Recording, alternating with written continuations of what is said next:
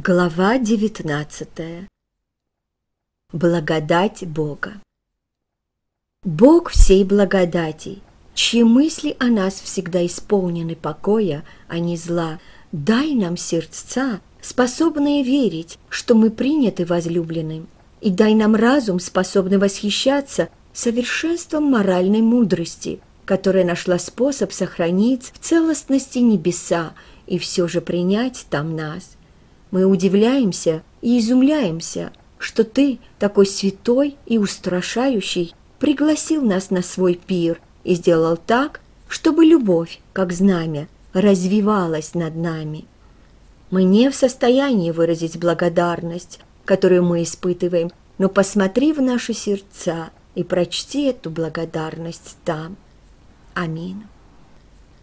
В Боге милосердие и благодать единый но когда они достигают нас, они видны как два разных свойства, связанные друг с другом, но не идентичные. Милосердие – это доброта Бога, которая сопоставляет страдания человека и его вину. Благодать – это его доброта, направленная на человеческие долги и недостатки. Именно благодаря своей благодати Бог устанавливает заслуги там, где прежде их не было – и заявляет, что нет долга там, где он прежде был. Благодать – это добрая воля Бога, которая позволяет ему давать благо тем, кто этого не заслуживает. Этот независимый принцип с самого начала существующий в божественной натуре проявляется как предрасположенность жалеть несчастных, щадить виновных, радушно принимать отверженных и проявлять благожелательность к тем, кто подвергался справедливому осуждению. Благодаря действию этого принципа мы, грешные люди, получаем спасение и возможность быть на небесах и на протяжении веков видеть величайшее богатство Божьей доброты в Иисусе Христе. Мы получаем преимущество навеки, потому что Бог тот, кто Он есть и поэтому Он помогает нам гордо поднять головы в нашей тюрьме, переодевает нас из арестантских халатов в царские одежды и дает нам возможность всю жизнь вкушать хлеб в Его присутствии. Благодать проистекает из самой глубины сердца Бога, из вызывающей благоговение непостижимой бездны Его святого существа. Канал, по которому Божья благодать приходит к людям, это Иисус Христос, распятый и воскресший. Апостол Павел, который больше, чем другие, говорил о Божьей благодати и искуплении грехов, никогда не отделяет Божью благодать от распятого Сына Божьего. В его учении они упоминаются вместе, в единстве и неотделимо друг от друга.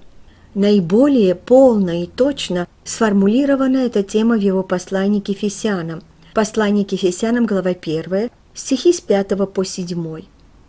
«Предопределив усыновить нас себе через Иисуса Христа по благоволению воли Своей, в похвалу славы благодати Своей, которую Он облагодатствовал нас в возлюбленном, в котором мы имеем искупление кровью Его, прощение грехов по богатству благодати Его».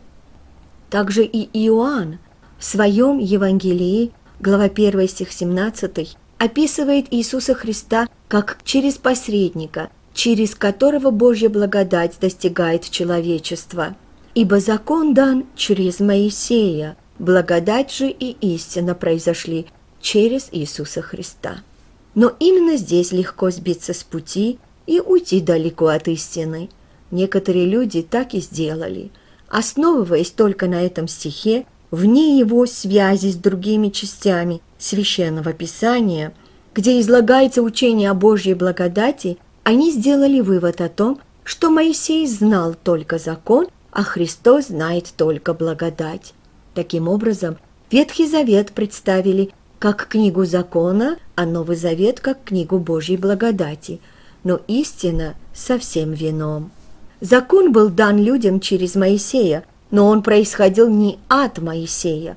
Он существовал в сердце Бога еще до того, как был сотворен мир. На горе Синай он стал сводом законов народа Израиля. но нравственные принципы, изложенные в нем, вечны. Никогда не было такого времени, когда закон не представлял бы волю Бога для человечества, и никогда не было такого времени, когда нарушение закона не влекло бы за собой наказание, хотя Бог был терпелив и иногда смотрел сквозь пальцы на злые дела, совершаемые людьми по неведению. Точные аргументы апостола Павла, изложенные в третьей и пятой главах его послания к римлянам, полностью проясняют этот вопрос. Источник христианской морали – любовь Христа, а не закон Моисея. И все же принципы морали, содержащиеся в законе, не были упразднены. Не существует никакого привилегированного класса, свободного от соблюдения праведности, предписанной законом. Действительно, Ветхий Завет – книга закона, но не только закона – перед всемирным потопом Ной обрел благодать пред очами Господа. Бытие, глава 6, стих 8. А после дарования закона Бог сказал Моисею, «Ты приобрел благоволение в очах моих». Книга Исход, глава 33, стих 17.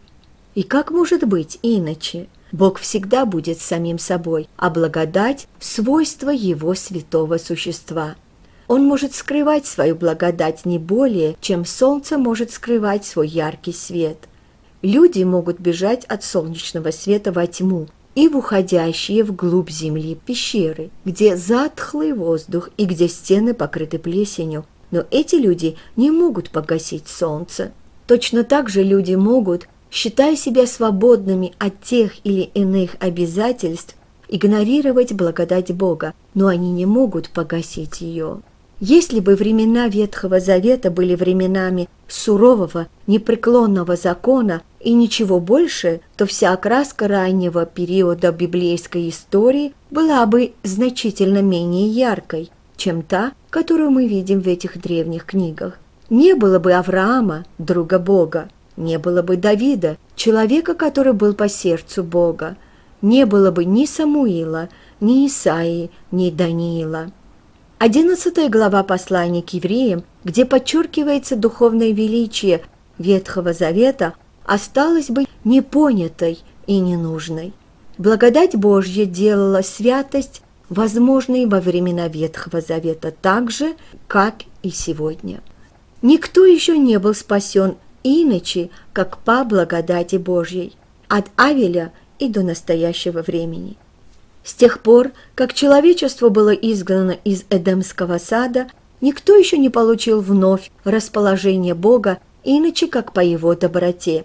И где бы ни находила любого человека благодать Божья, это всегда происходило через Иисуса Христа. Благодать Божья действительно пришла через Иисуса Христа, но ей не нужно было ждать Его рождения в яслях или Его смерти на кресте. Она действовала и до этого. Христос – агнец, отданный на заклание с самого сотворения мира. Первый человек в истории, вернувшийся к дружбе Бога, сделал это через веру в Христа.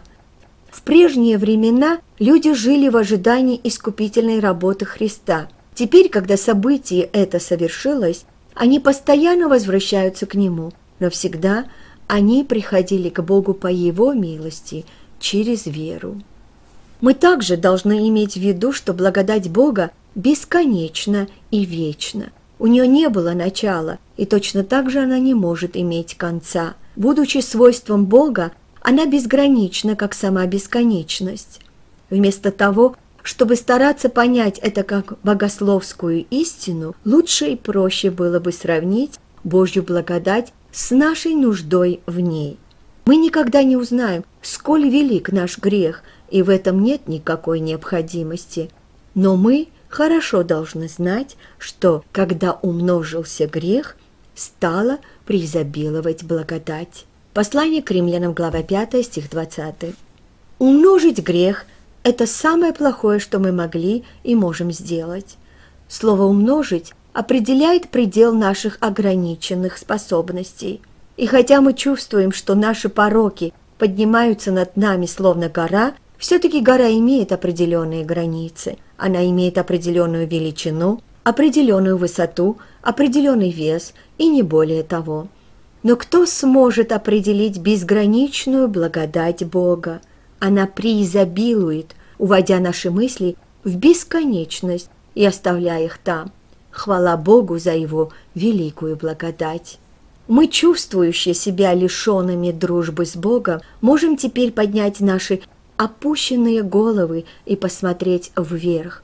Благодаря искупившей наши грехи смерти Христа, причины нашего изгнания из рад больше не существует. Мы можем вернуться, подобно блудному сыну, и нас с радостью встретит, когда мы приближаемся к саду Эдемскому, который был нашим домом до грехопадения, пылающий меч убирают. Хранители древа жизни отходят в сторону, когда они видят, как приближается Сын Благодати. Вернись, о скиталец, теперь вернись и ищи лица твоего Отца. Эти новые желания, которые горят в тебе, зажжены Его благодатью.